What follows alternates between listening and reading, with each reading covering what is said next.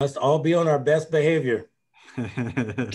Since we don't want to want to spend too much time, and I assume I'm still convener, why don't we get started? Because oh, we looks like we do have people popping in here.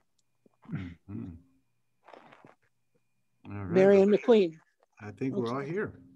Or, okay. Yeah. So so Marianne is the alternate liaison um, on the commission, um, and I think the email might have gone out, uh, Rebecca, to uh, Kineta Sanford. Yeah. Yeah. She's no longer an alternate. Uh, Kineta is no longer a village council member. Oh, okay. Um, I'll so, make sure to change that. So Marianne is is alternate uh, liaison. Okay.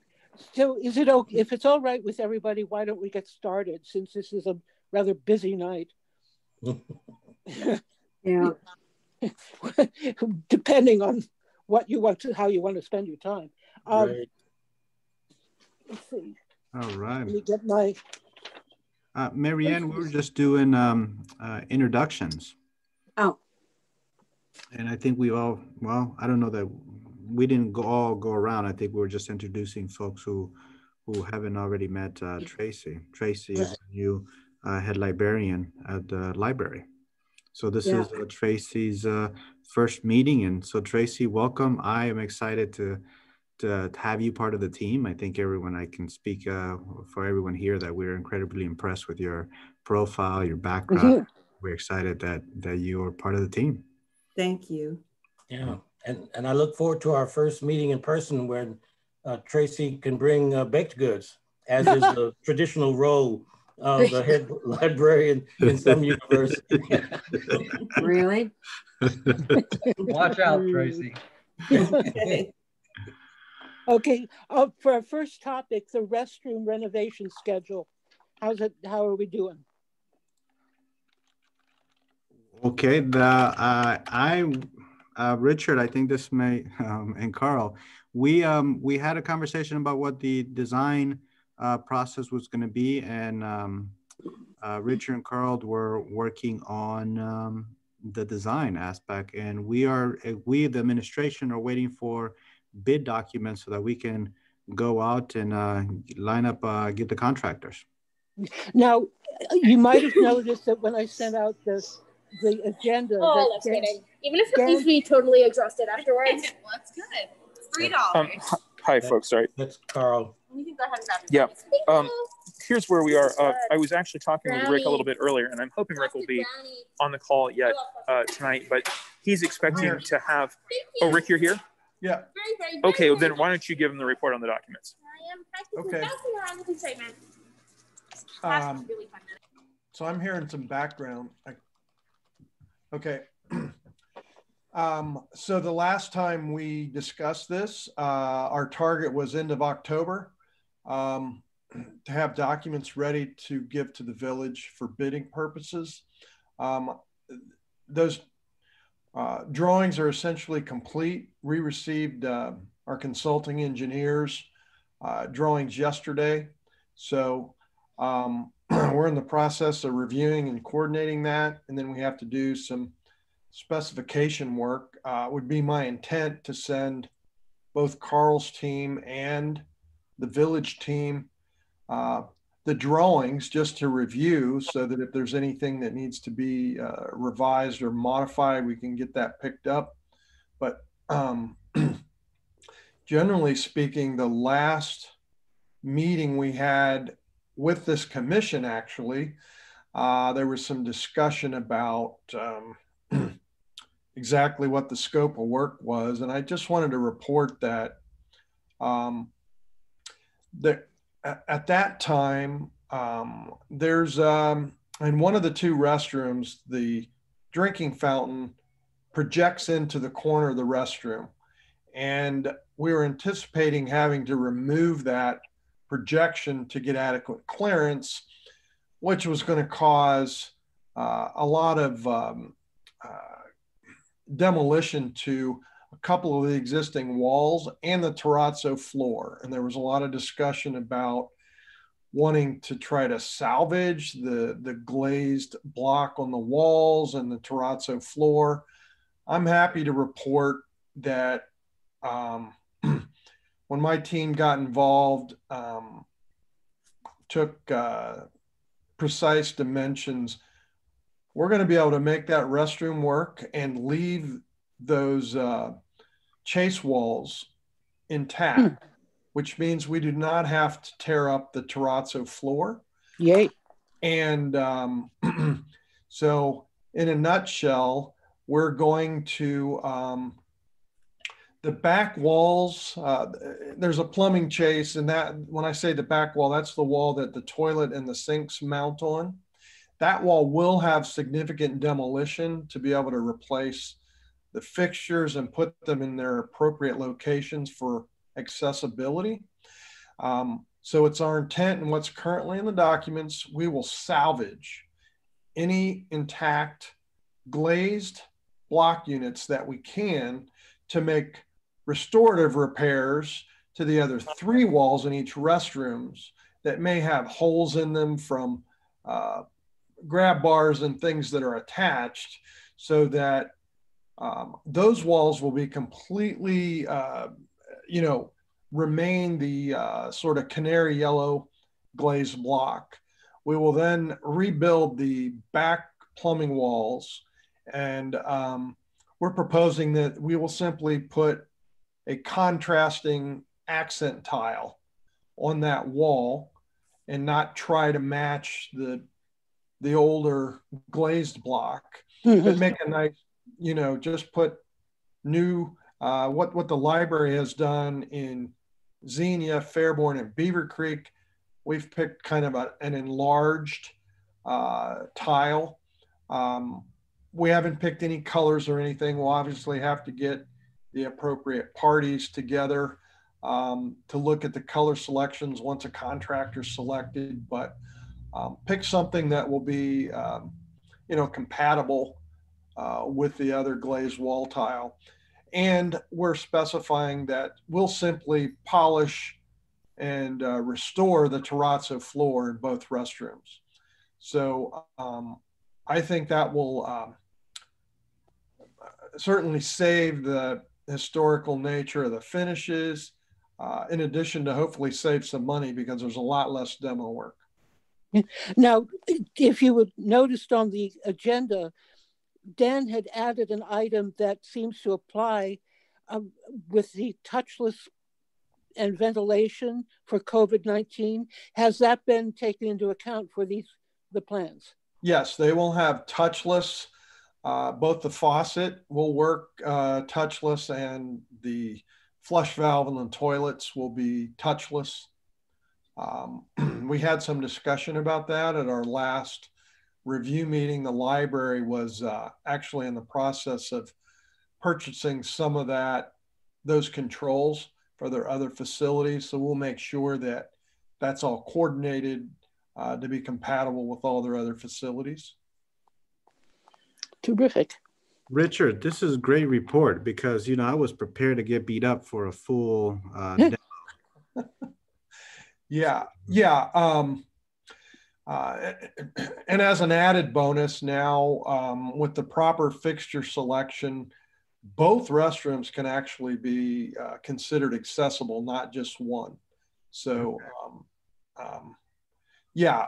Um, and I've been hounding our team just to double and triple check to make sure all the dimensions will work without having to do the extra demolition. So I'm real happy, uh, given where we've been in the discussions with this to where we are now. So we should be ready to, um, as I say, in the next day or two, we'll send a review set of drawings to the village and to the library. And by next week, we should be handing you the final package ready to uh, go solicit bids. Okay, excellent. Yay. Excellent. And we're going to rush at our, our end because we need to uh, encumber the funds. Uh, this, mm. Mm-hmm. Yeah. Um, well, great. The on the second bathroom, Richard, what uh what enhancement or what what are you doing to the second bathroom to make it accessible? We're we talking about just a door, a door frame change out? Yeah. So what's happening is we can actually put what's called an offset hinge. Mm-hmm. So that hinge will allow the door to open and allow the full width of the masonry open, opening to be uh, approached. And it's exactly the width. Normally, what happens is when you swing a door open, the thickness of the door impedes into the actual width of the door frame. Mm-hmm. With this offset hinge, we've met with a hardware manufacturer. Uh, we don't have to tear up the width of those door openings to make them accessible. We're just uh, going to change the hardware so that they can provide full clearance through the throat of the door opening. Okay. Um, and then it'll simply be a matter of uh, remounting the, uh, you know, mounting the um, new toilet and sink grab bars and doing the the work to the chase. Um, you know, so again, when it's done, both bathrooms would have new tile on the back wall, new fixtures, touchless controls, grab bars. Um, Excellent. Thank yeah. you. Mm-hmm. Thank you. Really good. That's really good news. That is good. It's amazing uh, how I, I know I'm familiar with those hinges, and it's amazing what three three and a half inches can give you. Hmm. This is Carl. In this case, it can give us ADA, which is what we're shooting for. Who knew? Oh, okay, shall we move on then to fiscal support for projects? Um, is there, what kind of budget has been done for 20, 2021 in regards to the library? We, I just uh, had um, a meeting with council. We had three uh, council session and we put in money just for basic maintenance that yeah. we, we do for the, so the library. So um, we, I don't have anything on my radar uh, to put in. I know we had talked about an engineering plan and a uh, long-term maintenance and capital improvement plan for for the library. Um, we haven't put that in the in the council budget. And Kevin, I don't know if you and I want or Marianne, if we need to have a conversation. Um, I know that the long term, the um, the maintenance plan is important, and um, yeah, how do we how do we get it funded? I think we had a figure for how much we needed, Carl. This is Carl jumping in. Um, we um, the figure I got, and, and I'll call Mr. Posey back to the carpet on this one. The figure we got when we did some of the work like this on Xenia for a plan, uh, we actually did it through K4 Architects, and we're very happy with the outcome. Uh, but also, I, I just want to note, you know, as the from the library's perspective, um, we're not unaware of the likely budget impacts of 2021 on everything. And although, of course, we'd love to have that plan in hand sooner rather than later. We completely, completely understand if this is an expense that needs to be deferred. Over to you, Rick. Um, that, you were really break. I'm not sure what the question is to me. The question is, would you give them some guidance on the likely cost of an engineering and maintenance plan? You know, year one do this, year two do that, just like we did on Xenia for the Yellow Springs Community Library. Can you talk them through that process? Yeah, so we we um, I guess we briefly discussed this. Um, I'm not sure. Um, I think Johnny had some comments relatives to maybe some of the work that had been done, but but just at a high level, what we did for Xenia, um, we brought in an engineering team and we sort of did a top to bottom assessment, uh, evaluating uh, age of HVAC equipment um, and projected um, lifespan remaining. We went through plumbing systems, basic electric service, certainly looked at, um, and then we looked at what I'll call the building envelope roof, uh, exterior walls, um, windows, uh, that sort of thing. Um, that led to a lot of discussion, um, sort of a master plan, and we picked the priorities, um, at least at the Xenia facility, that the library then funded. We went out to bid, And uh, that work was just completed. So, as an example, what happened in Xenia was um, the chiller was replaced, uh, chiller controls. Um, that was um, causing them uh, uh, a lot of annual maintenance and repairs because of the age of the chiller. So that chiller was replaced. Uh, during the course of the project, the boiler was evaluated and uh, it was originally felt that it had a few more years and um, uh, their maintenance crew had an evaluation done that there was some significant deterioration to the masonry lining on the inside and it didn't make sense to repair when it was going to be needing replaced in seven or eight years so there was some savings to the original uh, HVAC work that was bid, and so the boiler was added as a additional work.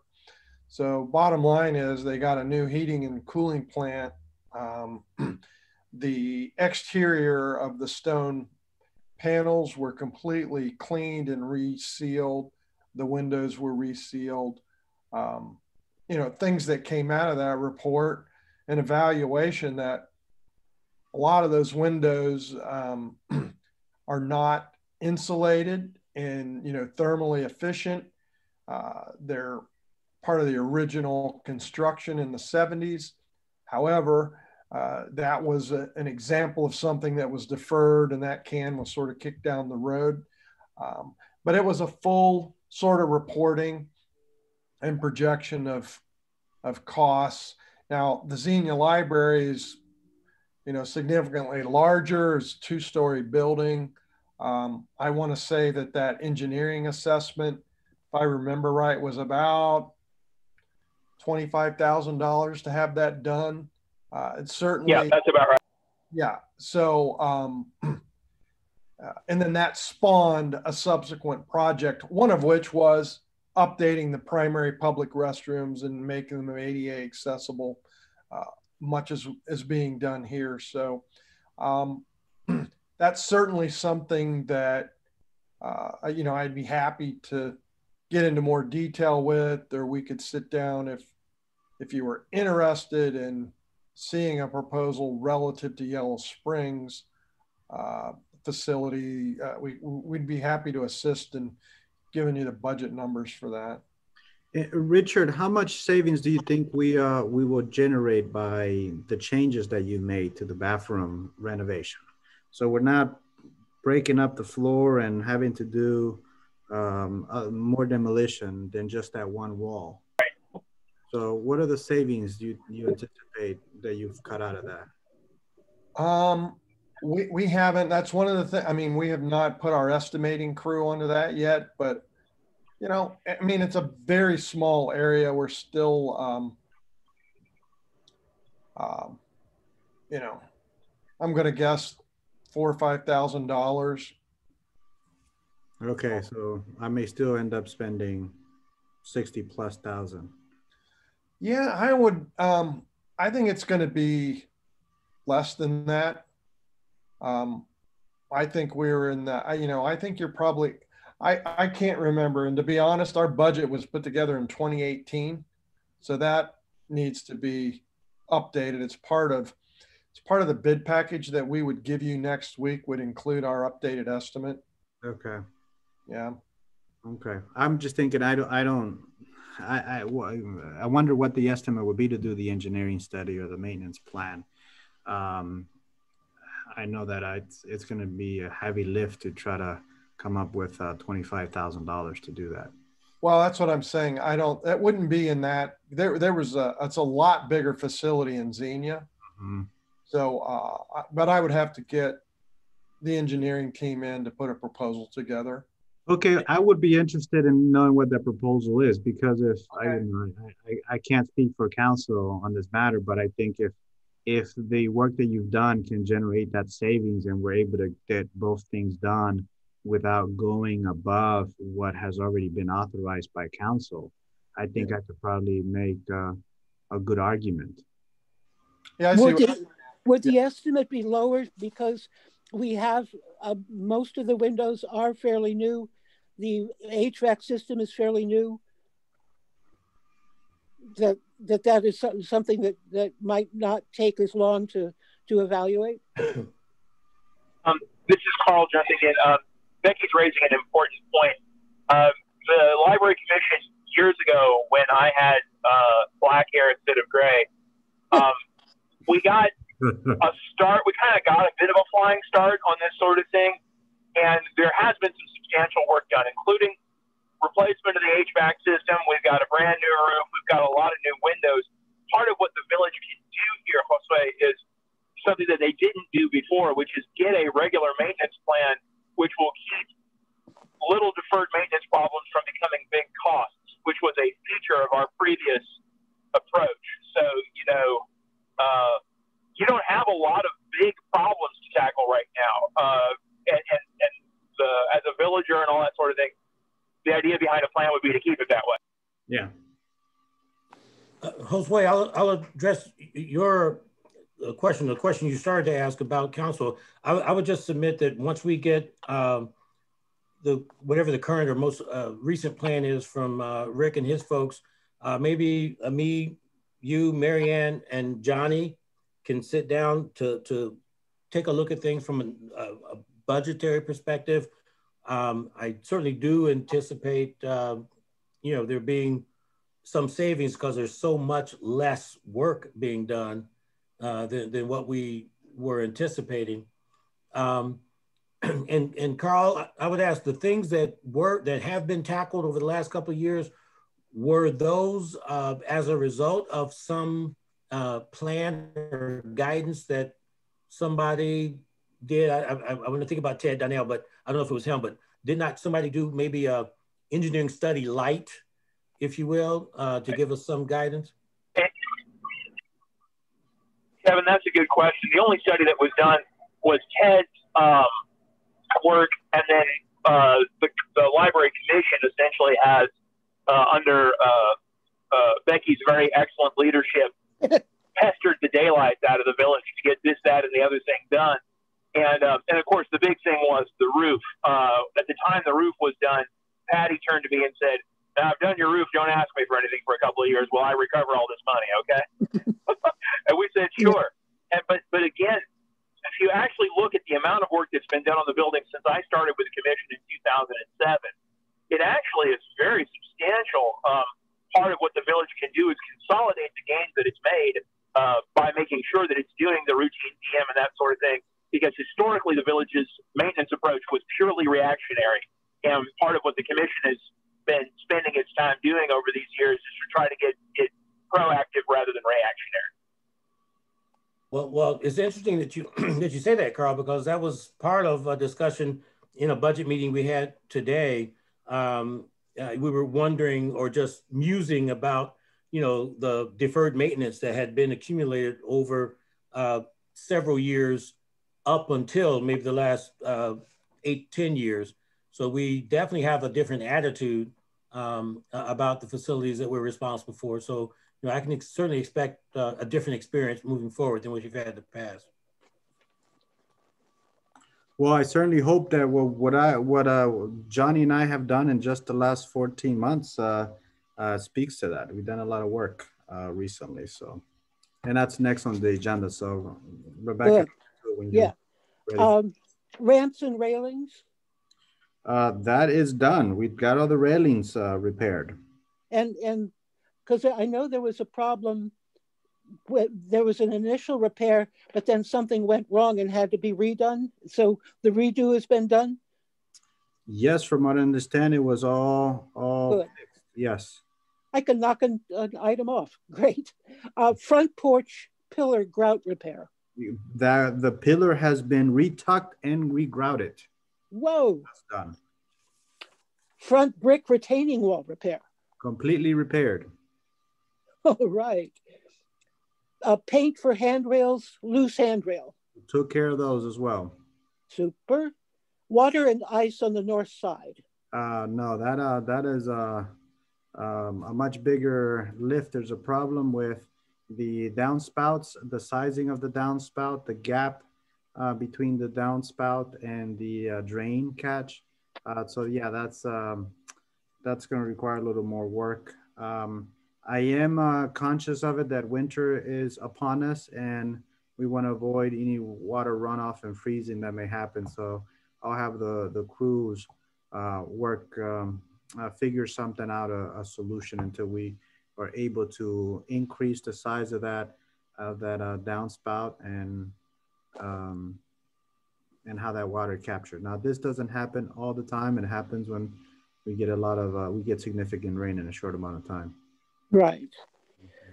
Well, that looks like we've taken care of it. Are there any other issues that we need to talk about tonight? Yes, we've got a couple more repairs that we did. We changed the condensate pump on the AC system. Hmm. We've installed an ionizing uh, filtration system. This is uh, directly for a COVID-19 um, uh, response. So the, and we've installed an ionizing technology that will uh, also reduce energy cost um, because of oh, right. Yeah, so we, we, um, we're excited to have that. The ionization technology kills viruses, bacteria, mold spores, and bad odors. Okay. I don't know if that's a problem at the library, but it's in, in the marketing material. um, we've also uh, made repairs to the hot water heater. The we power washed the the building, and um, yeah, I think that that's it. All right. We've had a Tracy, yeah, have you noticed any new issues cropping up? I have not. Good. Excellent. Yeah. Sway, could you uh, send some information about that uh, ionizing technology that's uh, you've added on to the HVAC system? Just kind of curious what it's about and is it sufficient for the building? Um, what do you mean? Is it sufficient for the building, Dan? Well, just I'm just curious. What what did you add it on to the building? What tell me about the ionizing technology? Okay, let me let me pull up my um. Let me put a spec sheet on it. Yeah, it's um, it's, it's not ur urgent, but I was just kind of curious what it is, and um, because I think you know that's a that's the other item that ventilation for uh, COVID 19. I think that's a big issue. It's not going to go away in 2021. Well, Jose is pulling up that sheet. I, I would add, uh, with deep gratitude, that list of stuff that uh, has been accomplished is a lot, and yeah. it is. Um, uh, it, it, and, and as the point was made earlier by, by Kevin, it really has been a hallmark more of the last two administrations realizing that some of us on the on the library commission have been through more than five village managers at this point. It's yes. it's really been more a characteristic of the last couple that stuff gets uh, up and out. And but boy, that sure is a list of up and out, and we sure are grateful. Thank you so much. Thank you, Carl. Appreciate that. My evaluation's coming up in December, so. Kevin, did you hear that? du- duly noted.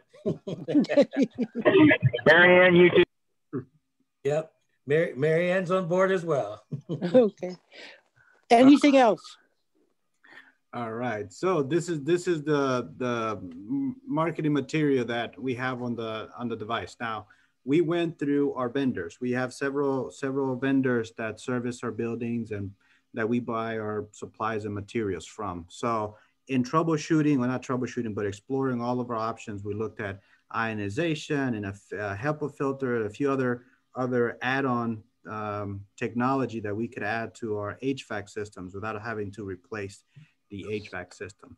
So the one that we liked the most and that will work for us was this ionizing uh, plasma uh, filtration system.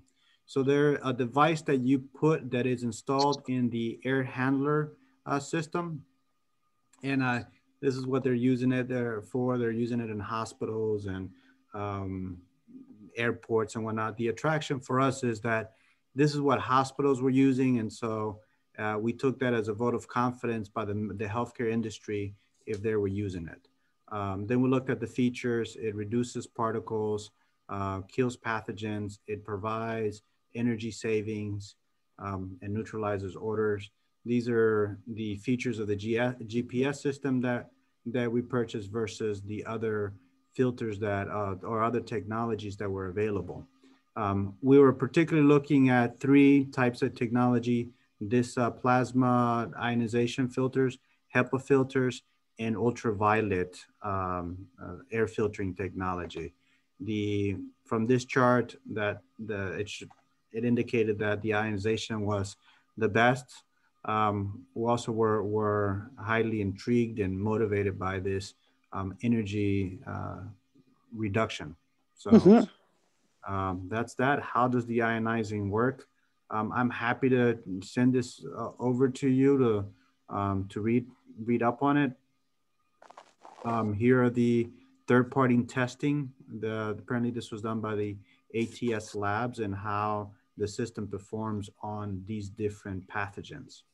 Um, the time it spends in the chamber, the kill rate, and what uh, agency tested uh, uh, for these pathogens.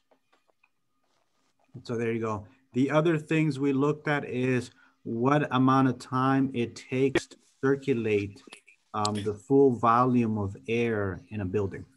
Um, and that is dependent on the HVAC system.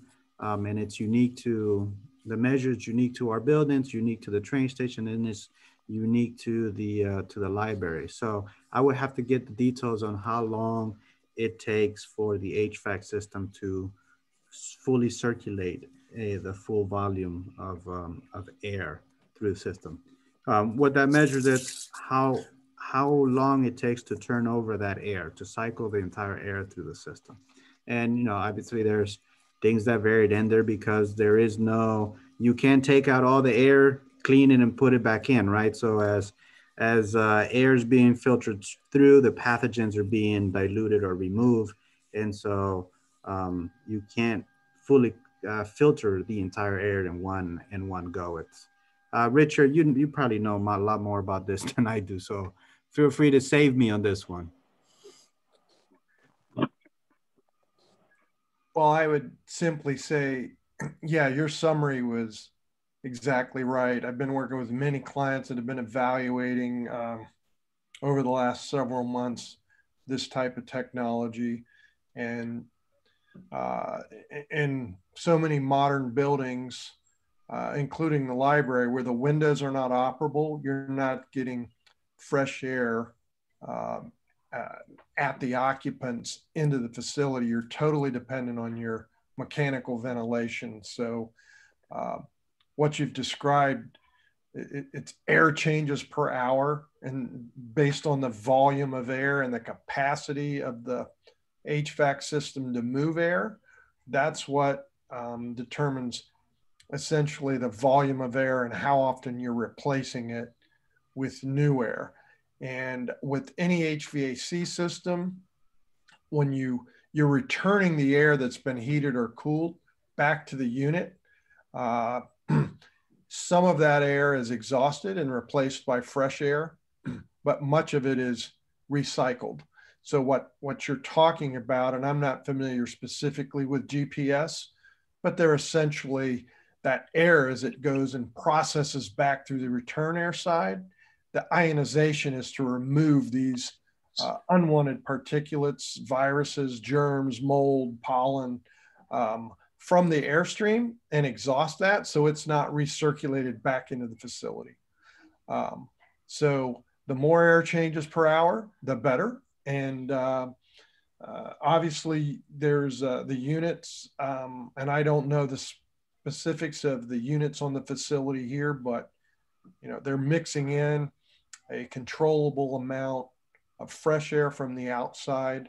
With that, your energy efficiency is, uh, it seems to me like there's probably some sort of a heat exchanger or something as part of the ionization filter so that the return air that's already been heated or cooled, you want to extract, particularly in the heating season, you want to try to recoup the heat that you've already spent energy heating keep the heat and get rid of the bad particles. Uh, so, um, like through the winter months when it's cold outside, you're typically bringing in less new fresh air because that just puts a drain on the energy side if you've got to heat 10 degree air to 68 degrees uh, and the reverse in the cooling season. So um, not familiar with this exact manufacturer or this system, but in general, uh, that's that's about all I would add to what you just presented. Thank you, Richard. Um, Carl here. Uh, Carl here. I'll note uh, I, I don't understand the inner workings of these systems, but I, I do know that our landlords in a number of the library buildings, including Beavercreek, Bellbrook, Yellow Springs now, are using these specific units. And, you know, they're not going to be a cure all, but, but it should be actually a pretty, a pretty solid improvement. And um, we're able to use CARES Act funding for this. And um, so it, it's a, it's a, it's a great time to make, if not a perfect move, a pretty good move with, let's be honest, somebody else's money. And so we're happy uh, about the opportunity to do that. And uh, we, uh, we, we partnered, we, the library, partnered with, uh, with the village on getting this one done. And we're just very happy uh, to have it done because, you know, any substantial incremental improvement is still an improvement. Dan, I hope what that answers. happens to what's removed from the air? It's exhausted out. Josue, thank you very much for that, and Richard for uh, bringing that up. I appreciate you both. Uh, yeah, if you want to send that brochure to the group, that would be great. Okay. Yeah, and and Josue, are those uh, you mentioned the air handler, so there's you have to put one per air handler. Do we just have one, or well, I'm making an assumption. Is it true that you do have to have one unit per air handler? Uh, yes, and the um, I'm looking at the bid pricing for this. Um,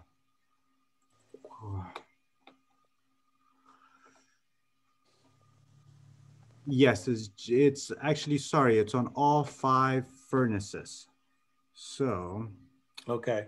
Yeah, this was the, this was the document for the library. So we installed um, the, the bipolar ionization system on all five furnaces. So it would have been five. Okay. Mm-hmm. All right. Sounds good. Thanks. All right. And, and, to jump in, Josue, I, I, if I'm remembering this correctly, I mean, this is the one that you all did all the legwork on, but we funded, right, through our CARES Act. Correct, correct. Yes. So thank you. Appreciate yeah. the support. No, no, I just mentioned that because I want, uh, again, for, for folks who are newer to our approach, um, it's not uncommon for the village and GCPL to find ways to do cost and labor sharing to make sure that um, we're getting the best for everybody. Right, right. And it was advantageous for the partnership uh, because we are getting all three buildings done at once. So we could schedule them and, and have uh, additional savings because we're making such a large contract. Which uh, buildings did you do add the other uh, ionization? We the John Bryan Center, the train station, uh, and the library. We tried we the looking at the um, at the at the pottery shop, but the pottery shop is on they're like on uh, some uh, ancient oil heating system. Thank you. Yeah. And again, it's important when thinking about this in context to remember that census is being done with CARES Fund. We got the money in September and we had to spend it by uh, December. So um, we had to move quick on this. Yeah. Mm-hmm. Sounds like it was money well spent. Absolutely. I agree. I agree. The only concern I have with some of these technologies is to Carl's point is it's not the in all or the these the hundred percent solution. Um, so we still have to do all the other preventative measures, wearing masks and whatnot. This just it's one more tool. Um, there are, I'm, I have seen reports that it can create a false sense of security for, for customers and for business owners. And I know this is not going to be the case in our library, um, but it has been an issue. Um, and that's a, a, an issue I or a concern I have here in the building too. that yes, we have this great air filtering system, but it's not um, it's not going to prevent us from getting the, the disease. is just one more preventative tool. Right. Right. Any other issues before we f- finish? Do I have a motion to adjourn then? Do we set the date for next meeting? Yeah, yeah, the agenda's got February 2nd, 7 p.m. Okay, Zoom. I, excellent. was- I was going on the model that we had set up about the first Tuesday in February, May, August, and November. Okay, And so un, unless there's a reason to cancel it later, that seemed to be reasonable. seems reasonable to me. Indeed, I, I agree. Okay. Okay, Now there may be there may be another meeting, I suppose, between now and then because the the, the bathroom, work. So sure. Maybe- Yeah, well, last time we met, we, we had sort of created sort of a subcommittee and I don't, you know, then COVID hit. So I, I know there's probably been some meetings that may or may not have been announced through regular channels. So, but suffice it to say that as situation warrants, yeah, we'd have, you know, some other auxiliary meeting as, as needed. Mhm. Absolutely. Okay, Okay. Motion to adjourn? so moved. Okay. Thank you so much, people. All right, everyone have a good night. Thank you. Have a Thanks, good everybody. stay Carl, safe. Hope it's a All good right. night. Night. Good night. Thanks for coming, Marianne. Yeah.